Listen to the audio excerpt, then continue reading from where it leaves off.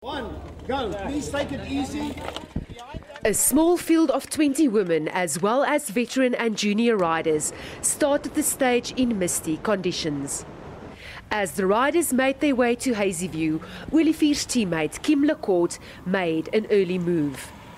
Willifier was tucked away safely in the bunch and waited for her opportunity to attack. She broke away from the main field on the climb between Hazyview and Sabie and won in a time of 3 hours 41 minutes and 54 seconds. The last stretch from Sabie to Graskop was quite a hectic headwind, so I dropped a bit from the main bunch, but managed to ride here on my own.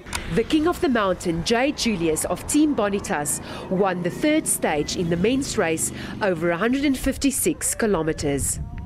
The 20-year-old beat overall leader JC Nel from the Westvaal BMC team by one minute, but Nel retains the leader's jersey.